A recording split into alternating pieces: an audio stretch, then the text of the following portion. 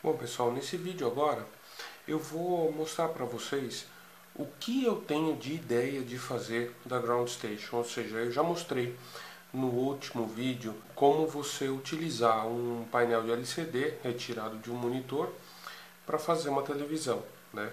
Agora eu vou mostrar o que mais eu vou colocar dentro da minha Ground Station, tá?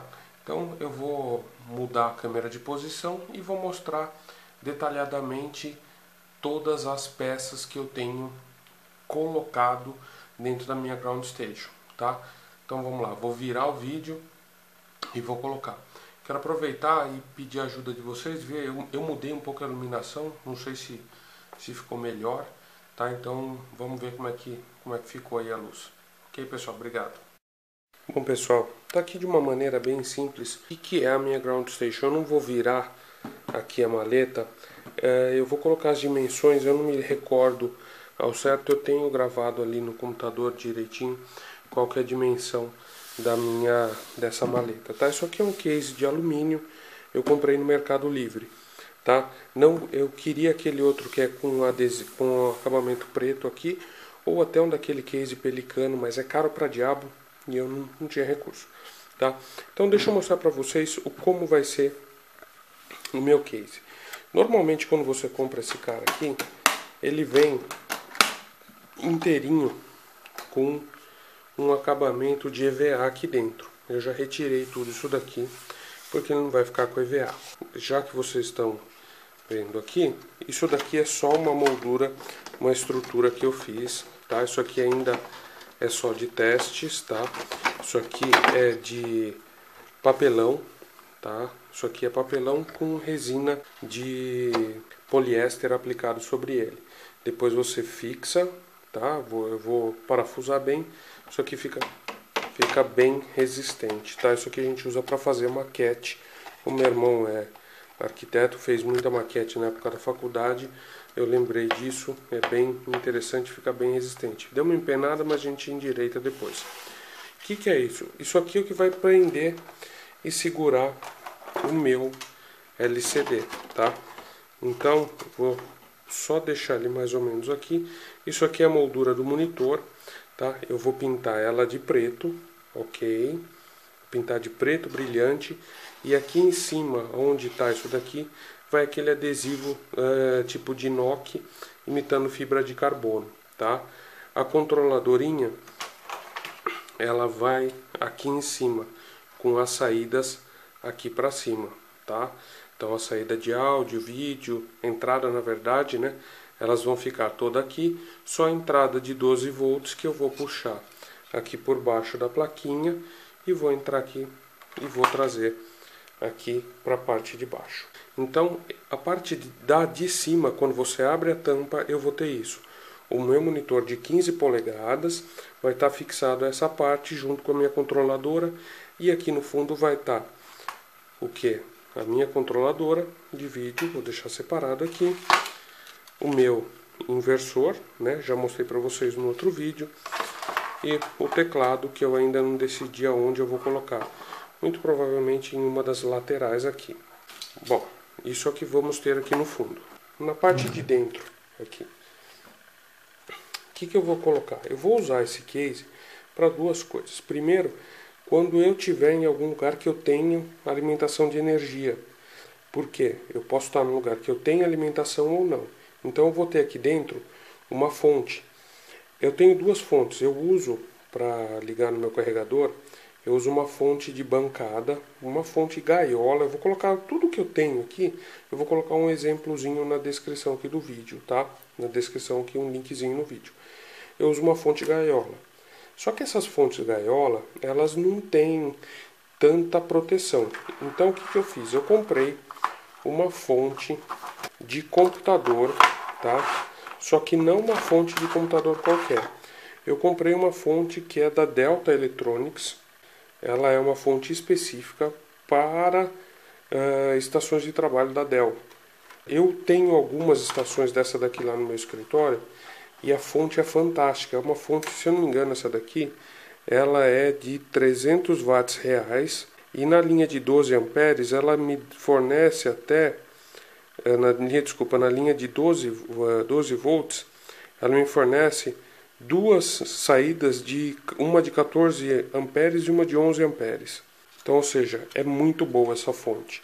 Vou tirar essa quantidade imensa de fios aqui e vou ter uma, duas saídas bem parrudas de 12 volts. Então, isso aqui eu vou ter.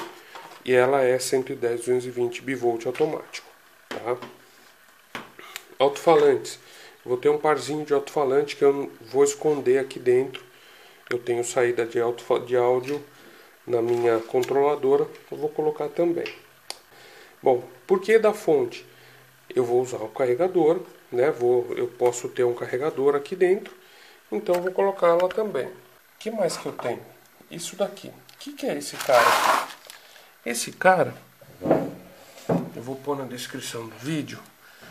É, o que, que é isso? Isso daqui é para ser usado em barco, tá? Isso daqui você põe entrada de 12 volts aqui.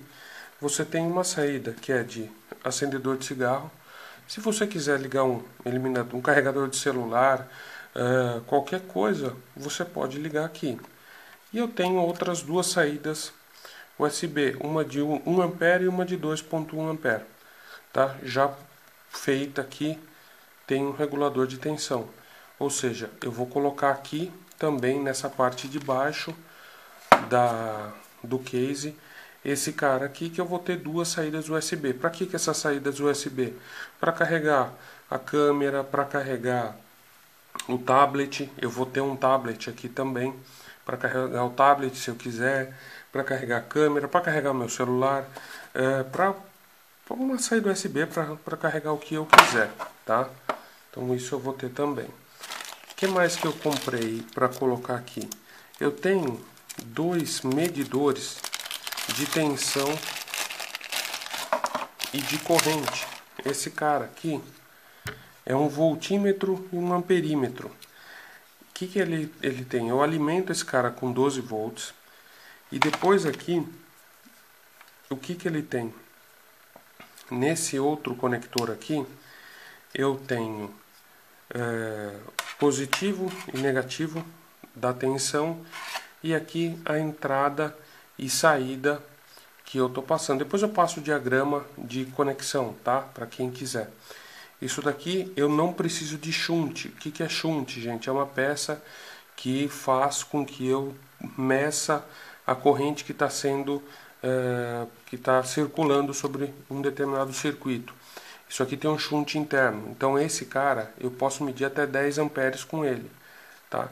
Então como eu tenho duas linhas de 10 amperes, eu vou ter até duas medidas, duas saídas de 12 volts e até 10 amperes. Então vou saber o quanto estou puxando.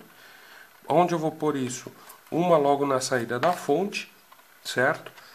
Porque eu vou poder chavear se eu vou usar a fonte, ou seja, se eu tiver usando tensão ou se eu tiver usando uma entrada de bateria. Se eu ligar na bateria do meu carro alguma coisa, eu saber o quanto eu estou consumindo da bateria do meu carro. Por isso que eu coloquei, tam, comprei também esses dois terminais bem bacanas aqui de baquelite, tá? E de com uma plug para plug banana, bem bacanas aqui para colocar aqui em cima também, tá? Então tenho dois caras, dois desses daqui tenho dois medidores, porque eu vou ter um na entrada e um de saída, ou seja, quanto que eu estou consumindo de entrada e como eu tenho, posso ligar um carregador numa saída 12 volts que eu tiver consumindo depois, eu vou ter uma outra. E também, é lógico, vou colocar fusível. Vou ter, comprei alguns porta-fusíveis, tá? Então, é basicamente isso, gente. São esses os produtos que eu vou instalar dentro da, da ground station. Aqui em cima o monitor, aqui dentro a fonte, eu ainda não acertei o layout que eu vou fazer, tá? A fonte, vou fazer uma entrada aqui na lateral para alimentação de energia de corrente alternada, ok? Vou ver quanto que eu estou consumindo de tensão e de corrente através desses caras aqui para abastecer todo o meu sistema, monitor, carregador, o meu, as minhas saídas USB e o meu carregador de celular, tá? Uh, e uma outra saída que eu vá utilizar para ligar o meu carregador, por exemplo, o meu iMac ou um outro carregador que eu venha ter no futuro, que eu vá colocar aqui também. Ok, gente? Vou ter, lógico, fusíveis, tá? E os alto-falantes. Poxa, Fabiano, vai sobrar espaço. Faz um case para você pôr o rádio aqui também. Não, não vou colocar, porque nessa ground station eu vou separar um espaço aqui para eu colocar um tablet. Porque o Mission Planner dos uh, meus drones eu vou usar sempre o Android ou alguma outra controladora que eu consiga ter alguma ferramenta que eu possa controlar via algum tablet, tá? Então eu vou ter um tablet, eu ainda não decidi qual eu vou colocar, eu vou ter ele aqui embaixo, fixo aqui dentro da do case, tá, pessoal? Então é isso daí. Eu vou colocar a descrição e os links desses desses caras que eu comprei aqui para quem quiser uh, dar uma olhadinha. A maleta eu comprei no Mercado Livre e esses cara, esse cara aqui é só você fazer mesmo, isso aí é depende da medida do teu monitor. Beleza, pessoal? Bom, o próximo vídeo muito provavelmente essa parte de cima já vai estar tá montada, tá? E, e com acabamento feito. E essa parte de baixo aqui também muito provavelmente vai estar tá montada e aí diagramada. E vou mostrar para vocês como ficou. Beleza, pessoal? Muito obrigado e até a próxima.